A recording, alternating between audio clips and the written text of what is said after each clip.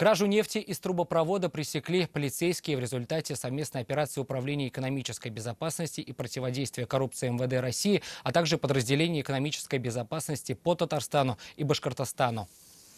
Врезку в подземную магистраль обнаружили сотрудники службы безопасности нефтяной компании. От трубы тянулся замаскированный шланг длиной 7 метров, через который злоумышленники и похищали природные ископаемые тоннами. Складировали похищенное черное золото на территории Татарстана. Отсюда же родом и двое задержанных с поличным подозреваемых. Лина Зинатулина с подробностями.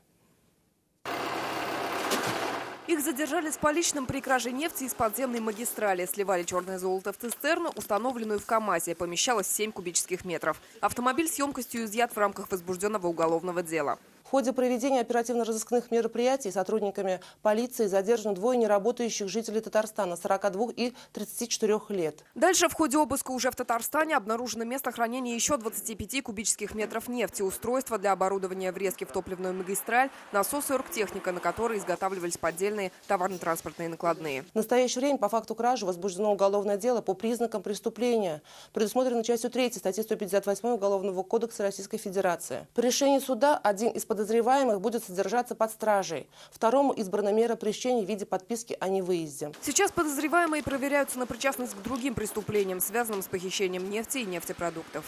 Лена Знатульна, Алла Рыкова, вызов 112.